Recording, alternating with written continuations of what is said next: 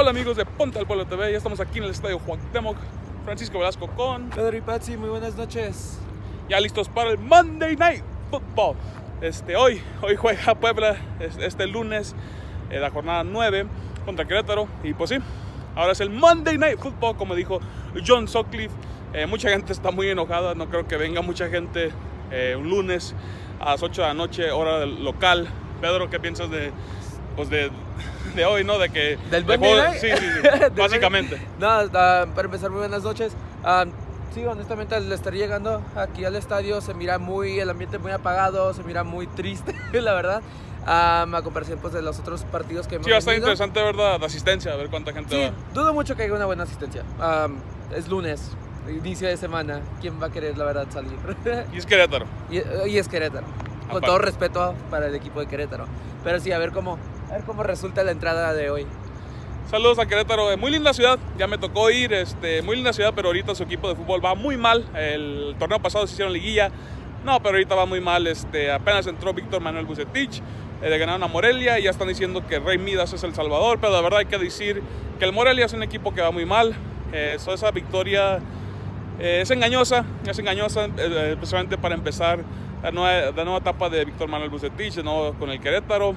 Eh, pero bueno, este, hoy creo que el Puebla tiene que ganar, creo que es obligación eh, contra un equipo como el Querétaro. Eh, si quieren eh, pues ir a la liguilla, a la gran fiesta, ese es uno de los juegos que se tiene que ganar los tres puntos. Eh, si no, ni pensar en liguilla, porque si no puedes ganar a Querétaro, entonces no puedes tener aspiraciones de ganarle a, pues, a equipos mejores, ¿no? Que de verdad están peleando para liguilla, porque Querétaro no está peleando nada, nomás tienen tres puntos, nomás una victoria en el torneo. Eh, y sí, y va muy mal, la verdad, el equipo de los Gallos Blancos, una victoria, siete derrotas. Pero bueno, Pedro, ¿qué piensas? Sí, estoy de acuerdo contigo. Creo que ahorita tienen que aprovechar de por sí. Les va a tocar un, les va a tocar un calendario muy complicado. Ah, viene, el, viene el clásico contra Lobos, viene Pumas, viene América. América también. Va a estar muy complicada para, para el Puebla y ahorita es uno de los, um, de los partidos más importantes para ellos que tienen que sacar los puntos. Especialmente, como lo he dicho, Chelis tiene una cierta ah, cantidad de puntos que tiene que hacer para que se te- eh, mantenga como entrenador del Puebla y pienso que ahora tiene que salir ofensivo para poder sacar este resultado. Y pues sí, el Querétaro tiene algunos jugadores interesantes, eh, como Camilo, Camilo Zambeso no es el más des- destacable, ahí con sus tiros libres, eh, muy peligroso. Eh, pero sí, el Querétaro ha batallado mucho esta temporada, más Aunque ha estado defensivamente. apagado, ¿eh? Ha estado apagado Zambeso. No, no, no, no hay ningún jugador que destaque el Querétaro, la verdad. Pero sí es el más, es el, pues la figura del equipo, se puede Sí. decir. Eh, ha, ha batallado mucho Querétaro defensivamente, eh, sin Irán Mier, que ya está con Chivas, y luego Thiago Volpi, que se fue para Brasil. En la portería, la verdad, Alcala y este otro portero tampoco no, no Nada han- seguros. Nada, nada seguros. seguros. So, yo creo que el, el Puebla sí puede aprovechar aquí. Eh, pero bueno, a Pedro, este, ahorita hay que ver la convocatoria, los jugadores que, que fueron convocados para este partido. Sí, sí, ya está lista la convocatoria, algunas cosas interesantes, algunas cosas que destacar. Pablo Gómez es convocado eh, por primera vez en su carrera para un juego de Liga MX, el joven, nacido en Argentina, eh, 21 años apenas, eh, pero surgió aquí con Puebla. Eh, pues a ver, a ver si hace su, su debut en la Liga MX hoy. Eh, será interesante ver eso. Eh, también Matías Alustiza eh, no está para este juego, desafortunadamente tiene problemas familiares. Este, ahí su papá pues está, está batallando ahorita en términos de salud. Eh, este, nuestros pensamientos, nuestras, todo, todo, todo ahí con Matías Alustiza, la verdad, este, difícil tiempo ahorita para el, para el argentino, está ahí en su, en su país natal, eh, pues apoyando a su familia, apoyando a su papá. Eh, Pedro. Sí, fuerza, eh, fuerza con el chavo. Simplemente pobre, eh, pobre de él. ah, ¿Cómo puede estar en un partido pensando pues, que su papá está ahorita con esta- en estado crítico, se puede decir? Algo que destacar. Tabó regresa. Alustiza no está, pero Tabó regresa. Creo que debe ser un plus. Tiene, creo, y para mí siento que debería ser el jugador que tiene que acompañar a Cavallini. ¿Tú qué piensas, Francisco? Sí, también aparece Johandri Orozco, a ver si recibe minutos. ¿No está ya, ya lo de Johandri ya, ya está ridículo. Eh, nos parece como que va a ser un, un jugador que va a ser impacto de este equipo. De verdad se ve como que va a ser un jugador de paso eh, por la liga, por toda la liga, eh, Eh, porque no, no ha aparecido para nada. Es increíble. Pero sí, muy bien ver a Tabó de nuevo. Eh, para mí nunca ha sido un jugador que puede rendir los 90 minutos. Pero este, si, si empieza el partido, este, sí puede jugar unos 70 minutos por ahí, eh, 60 por ahí, 65. Por ahí, por ahí, por ahí. Eh, pero, pero de arranque no, un jugador muy peligroso, que sí, de verdad sí puede hacer mucho impacto en el ataque, especialmente ahí con Lucas Cavallini. Eh, creo que esa es, este, pues es, es parte del, del, ataque ideal ahí del Puebla, ahí con Cavallini, con Tabo y con Alustiza. Eh, por supuesto no está Alustiza hoy, pero a ver, a ver, a ver cómo dos alinea el Chelis. Sí, uh, pues hay que ser honestos, a comparación de Tabo a que empiece Orbeño, ¿quién prefieres? No, sí, sí. Eh, jugadores muy diferentes. Eh, a ver si empieza Omar Fernández también, eh, junto con Tabo y Cavallini. Eso me gusta mucho porque pues Cavallini no es un cazagoles, es, es un hombre del área, un hombre físico. Y luego Tabo, Tabo y Fernández son más técnicos ahí por las bandas, crean mucho juego. pero hay que ver, hay que ver cómo salir el Chelis hoy. Pedro. Sí, sí, a ver cómo les alinea, esperemos que uh, puedan sacar un buen resultado y hay que esperar lo mejor, ojalá. Para mí, prefiero que Tabo empiece que Ormeño. Honestamente, Ormeño no ha hecho nada esta temporada.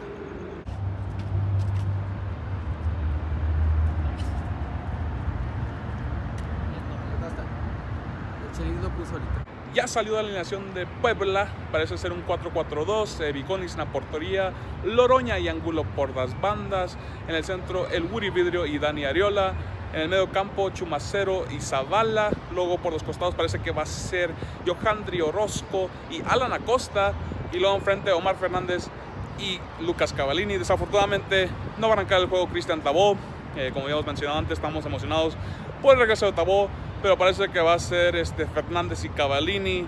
Eh, a ver que, también que puede ser Johandri Orozco. Eh, el Chelisi tiene algunas opciones ahí de relevo interesantes, como Francisco Acuña. Eh, también Pablo Gómez, a ver el joven, a ver si puede hacer algo. Y por supuesto Cristian Tabor regresando pues de la lesión. sí, no, se iba, a esperar ¿no? que Tabor no iba a arrancar el partido, precisamente porque está regresando de, de la lesión. Eh, pero como ya mencionado, es un jugador muy impactante y pues a ver si puede hacer algo de la banca, tal vez hasta entra en el segundo tiempo, dependiendo de cómo están las cosas. Alan Acosta no tiene mucho, muchos minutos de juego esta temporada, al igual que Johandri Orozco. Eh, los dos son jugadores que sí pueden hacer impacto en los juegos, pero como dije, no tienen mucho, muchos minutos en este torneo, eh, ni siquiera en la Copa MX. Y pues a ver, a ver si encuentran ese ritmo a ver si pueden trabajar bien con Cavallini. Pero Pedro, ¿qué piensas de la alineación? La alineación para mí se me hace algo interesante que haga, siga apostando por Acosta en lugar de Acuña, por el simple hecho de que Acosta para mí se, se mira como que le ha costado un poco. Uh, es bueno para encarar y, y, es muy desequilibrante, pero simplemente los centros, los centros es Jurgen Damm otra vez. es como Jurgen Damm, no, no se me hace como un jugador que pueda estar se puede decir en un sentido alimentando a Cavallini que necesita esos centros. Uh, se me hace complicado que, que como sea, que, que, Omar Fernández y Cavallini se vayan a, vayan a hacer una buena dupla por el simple hecho de que vamos a lo mismo. Cavallini es alguien que, que es de área, necesitaba que le estén centrando. Y esta temporada para mí Omar Fernández le ha costado mucho, le ha costado mucho y no está al nivel a que mostró la temporada pasada. Uh, lo de Johandri a mí me gusta, es, uh, es un riesgo, es un riesgo porque pues ni sabemos cómo, cómo juega, honestamente. No, por video sí, pero no sabemos exactamente cómo pueda uh, cuajar con este equipo. Uh, pero en lo personal, lo más con el único cambio que no me gustó fue simplemente lo de, lo de Acosta y me hubiera gustado Acuña en lugar de él. Sí, igual lo de, lo de Acosta no, no entiendo si tienes a Tabó y si tienes a Acuña en la banca. Eh, deberían de, pues, de empezar a favor de Alan Acosta. Eh, parece que al Chelis le gusta Acosta, pero pues bueno, hay que ver, hay que ver qué pasa en el partido, a ver si también debuta Pablo Gómez, sería interesante ver eso. Eh, pero sí, ahora predicciones, Pedro. Predicciones, yo pienso que sí ganan ahora. Uh, sí pienso que, que, que, que Gallos, uh, el resultado de la semana pasada de contra Morelia, uh, se me hace como que fue engañoso para ellos, pero simplemente también no, no, no, es mago. Reinidas no es, no es no, es la salvación de gallos, pero sí pienso que fácil gana 2-1 el Puebla. Sí, yo, también pienso que gana el Puebla. Eh, no, como había dicho, es un juego que tienen que ganar, la verdad, aquí en el Monday Night. Pero bueno, eh, yo creo que sí tiene que ganar Puebla. Eh, yo digo un 2-0. Yo creo que sí, sí, gana, sí gana bien el, equipo del Chelis. Eh, para mí, Gallos no, no se ha visto nada bien toda temporada. y para mí, Rafael Puente sí fue buen técnico. Obviamente no se compara con Bucetich, pero para mí sí fue buen técnico y pues, pues los, llevó a liguilla el año pasado, el torneo pasado eh, con una escuadra muy, muy limitada y pues sí, no pudo hacer mucho para este plantel. Eh, ya se había dicho no, muchas cosas que la directiva no, no invirtió suficiente dinero, eh, pero bueno, eh, la verdad no, no tengo mucha fe en esa escuadra de gallos y yo de verdad creo que el Puebla es un juego que tienen que ganar. yo digo un 2-0, pero bueno, ya vamos a disfrutar el partido. bueno. Ya estamos listos para el kickoff, ¿eh? Ya estamos listos a ver si está Sutcliffe, no creo, pero bueno.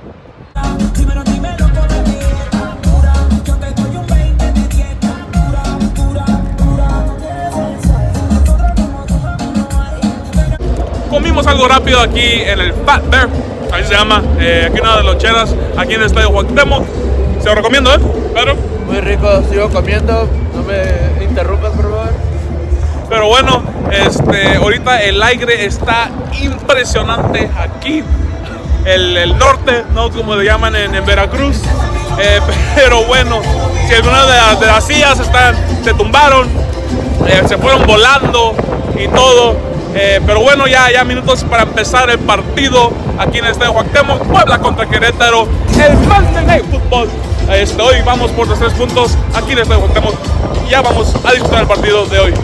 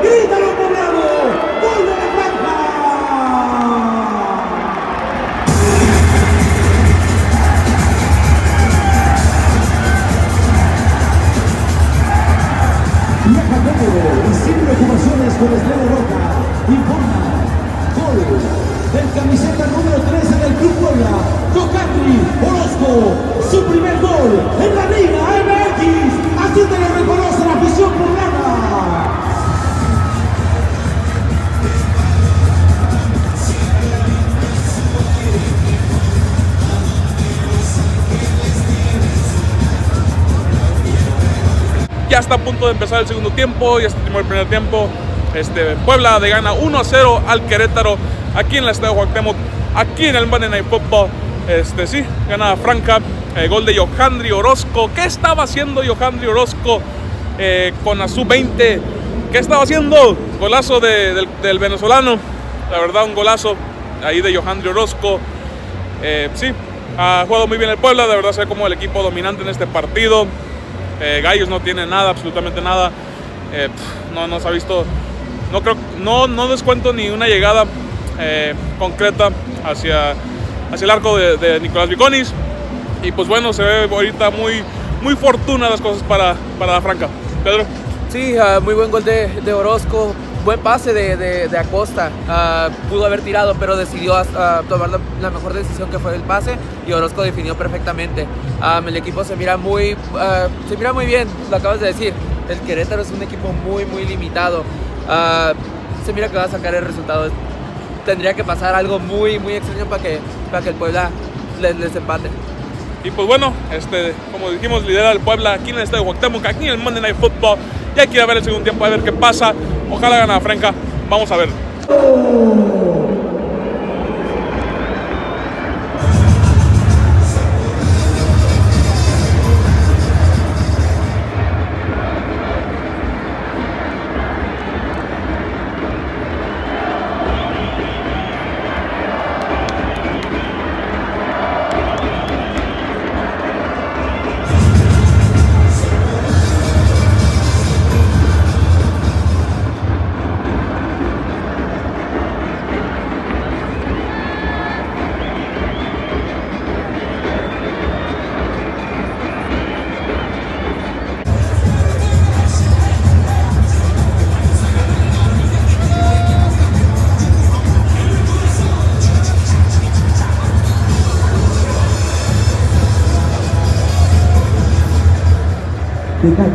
Somos fútbol. Evita el exceso.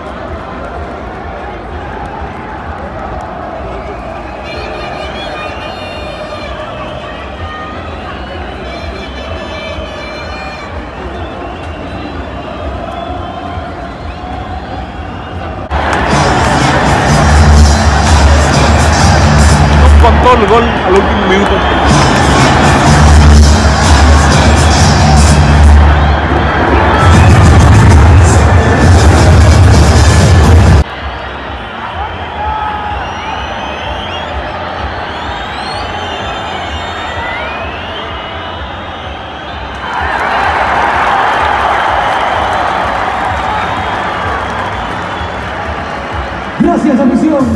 Nos esperamos el próximo partido. Viernes 15 de marzo a las 9 de la noche. Frente a Pumas.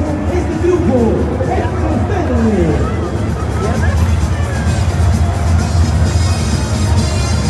¿Qué tan importante era conseguir la victoria hoy, este, después de unos partidos sin, pues, sin conseguirla?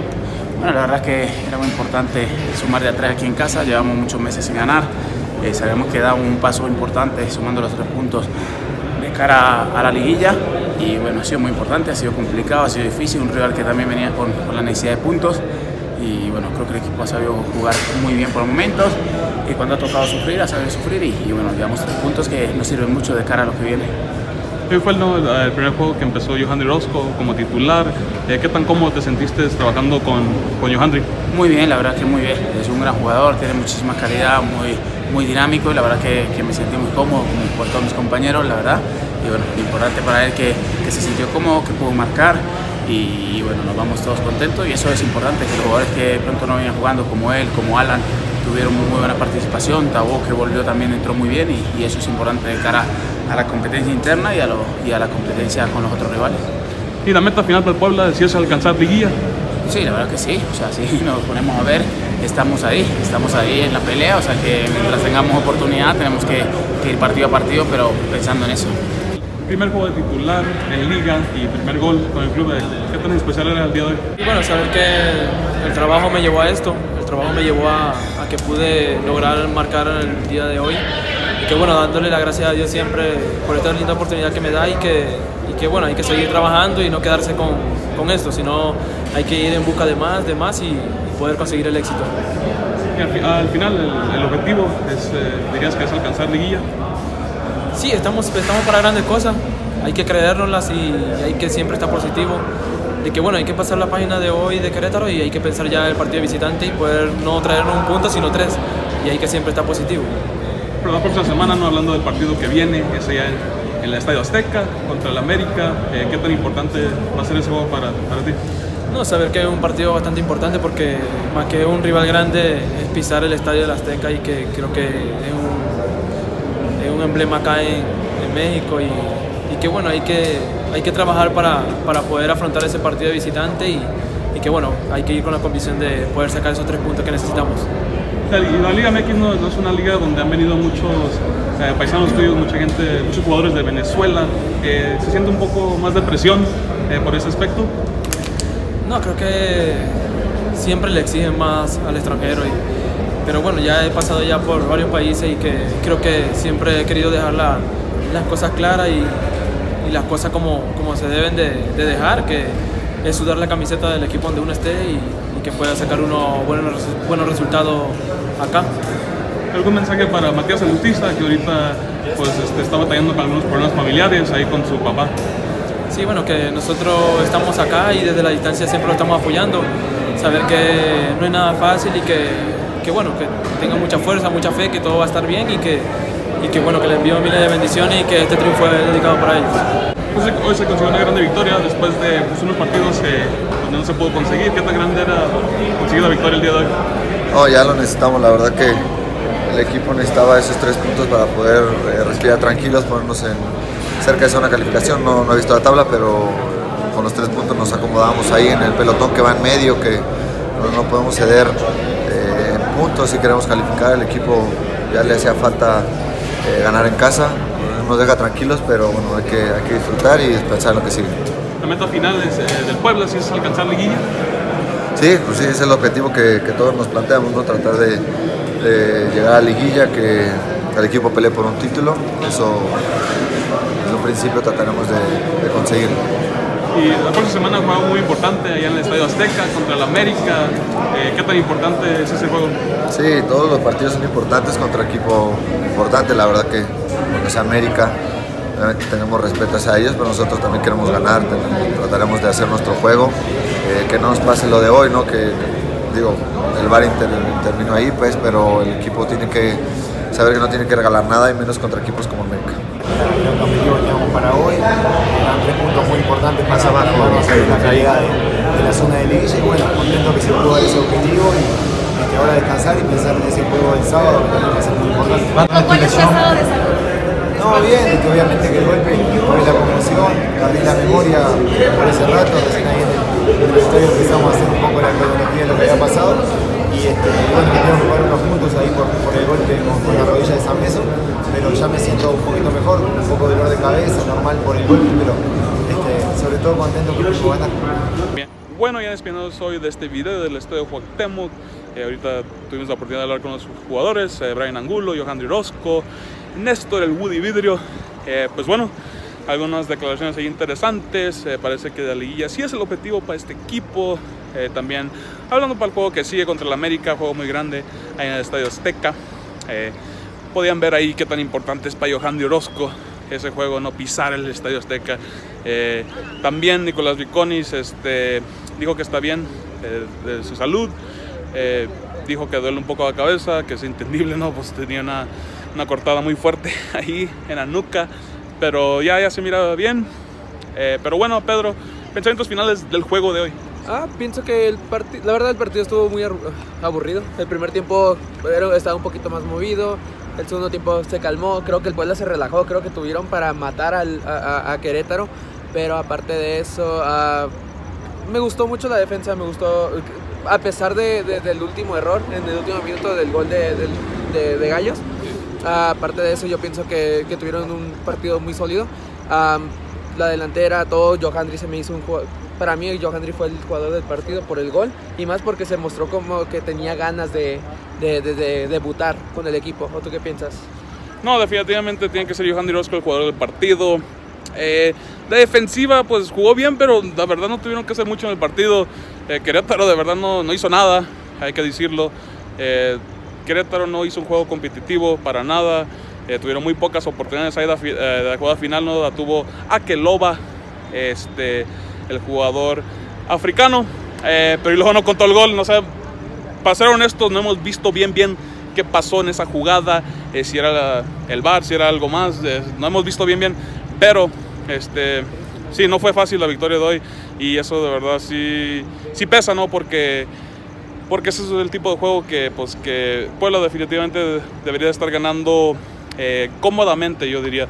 Eh, no deberían de batallar como lo hicieron hoy, no deberían de estar al, borde del, empate como lo hicieron hoy. Eh, después de, que, de ese gol, ¿no? Este, mucha gente se empezó a ir del estadio, incluso. Y luego de repente todos, oh, pues no con todo. Pero mucha gente sí se fue del estadio después de ese gol de Akeloba. pero bueno, este, no pienso, de verdad no pienso que Querétaro o que Puebla debería estar batallando tanto contra un equipo como Querétaro. ¿Tú, Pedro? Sí, en eso estoy de acuerdo contigo. Querétaro vino a tratar de competirle al Puebla, tratar de sacar el empate, pero simplemente no le salió. El Puebla, como lo dijiste, siento como que el Puebla tuvo que haber matado Uh, de hecho, a Hasta ahorita vimos la directiva eh, a Jaime Ordeales, a Víctor Bucetich, este, los dos furiosos se miraban ahorita después del partido ahí hablando un poco. Ahí estaban cerca de la zona mixta charleando, pero se miraban furiosos. Sí, furiosos con Bucetich. Se miraban como que le estaban tratando de, de, de hacer mirar a unas cosas que a lo mejor él no se ha percatado, no se ha dado cuenta. Entonces, uh, sí, el Querétaro simplemente de haber ganado contra Morelia, creo que uh, fue un espejismo, la verdad. Uh, no se miró acá en el Cuauhtémoc. Uh, pero el Puebla, pienso, estoy de acuerdo contigo en un 90%. Pero sí siento que sí se echaron muy para atrás en el segundo tiempo. Siento que después. Sí, vino de Luis sacaron... Aquín este, por Omar Fernández, el logo ahí al final del partido. Ah, la cambiaron a la línea de 5, ¿no? Sí. Cambiaron a la línea de 5 cuando metieron a Araña Rodríguez. Entonces sí se me hace como que ¿Cómo puedes tratar de... ¿Por qué te estás echando para atrás cuando el equipo se mira que ya está cerca de, de anotar el segundo y ya matar el partido? ¿Por qué arriesgarla además? Pero bueno, cada quien tiene sus formas y a lo mejor Chelis lo más pensaba en ya cerrar el partido y ya lo más que se terminara. Y pues bueno, este, ojalá esté bien Nicolás Viconis porque la verdad va a ser un juego complicado la próxima semana en el Estadio Azteca contra el América. Nunca es fácil ir al Estadio Azteca no importa si juegas contra el Cruz Azul, no importa si jugabas contra el Atlante hace, hace 20 años, pero nunca es fácil ir al Estadio Azteca, nunca es fácil. Eh, ojalá de verdad esté recuperado Nicolás Vicones. Ahorita dijo, ahorita dijo que estaba bien, pero quién sabe, ha tenido muchas lesiones en su carrera, ha tenido muchas lesiones desde venir aquí a Puebla, eh, y la verdad, Daraña pues tiene sus momentos, pero todavía es un portero que le falta experiencia. Y también algo que quería destacar es otro juego flojo ¿no? de Lucas Cavallini. Sí, de hecho está, eso es algo que estaba pensando. No sé si sea va a sonar feo, pero para mí siento como que desde que llega Lustiza a lo mejor como que le quitó protagonismo y, y, no sé, yo para mí en mi punto de vista siento como que él ya no se siente tan cómodo o como que tiene que dar de más. Eh, definitivamente hay que, hay que decirlo, Lucas Cavallini tiene problemas de actitud, es muy claro eh, en su forma que lo ves en la cancha, pero es hasta más claro este, pues, si eres prensa y de verdad lo ves de cerca, este, y a lo mejor eso también es algo que le puede afectar. Sí, a lo mejor en el vestidor les, le puede costar, pero no estamos diciendo que sí está pasando, no, pero de nuestro punto de vista sí, al tratar de hablar con él simplemente no le gusta. Para mí, sí, Cavallini no sé si a lo mejor sea algo extra cancha, que a lo mejor ya no se siente tan cómodo, tan importante para el equipo, y a lo mejor él, solito le bajó. Dijo, a lo mejor no me necesitan tanto como me necesitaban la temporada pasada, y pues mejor le bajo, no necesito echarme de más. Una cosa más que quería decir también es que eh, Cristian Tabor regresó y la verdad se miró muy bien cuando entró de cambio, eh, se, se, hizo, se vio como que hizo ese impacto ¿no? este, en el ataque, eh, la verdad se miró muy bien Cristian Tabó y yo estoy muy contento que esté de regreso. Sí, es un jugador importante, como le habíamos dicho al empezar el partido. ahorita que no está Lustiza, siento que él podría ser el jugador que necesitábamos que, que pudiera, por si estaba 0-0 el partido, a lo mejor él podría ser el que hiciera la diferencia. Otra persona que tenemos que destacar es Acosta. a mí en lo personal no me gusta Acosta, no me gusta Acosta, pero este partido sí se le miró que en verdad quiere, quiere ser uh, del del cuadro titular y que quiere estar en el, se quiere quedar con esa posición. hasta ahorita para mí sí se lo merece, ya se lo merece, dio pase de gol, aparte de eso se mira ah, que, es un jugador que algo que no hace uh, Tabó, que es que ah, tiene un partido completamente, se puede decir, él, es un, a Tabó le cuesta mucho jugar los 90 minutos, a Costa no, a Costa está demostrando que él quiere y que él puede. Y pues bueno, ahí están nuestros, nuestros pensamientos después del partido aquí en el Estadio Cuauhtémoc. Puebla de gana 1 a 0 al Querétaro aquí en el maravilloso Estadio Cuauhtémoc. Y pues bueno, amigos, ya despedimos hoy de este video. Última cosa, eh, saludos a Matías Alustiza, eh, nuestros pensamientos, eh, todos están con él y con su familia, con su papá, ahorita está batallando. Pedro. Sí, saludos Mati, ya sabes, acá estamos contigo y, y Dios los bendiga. Y pues bueno, gracias por ver el video amigos, se les agradece. Eh, suscríbanse, comenten, comparten, todo bueno. Muchas gracias. Otro video aquí en Ponta del Pueblo TV. Francisco Velasco y Pedro Ipazzi, muy buenas noches.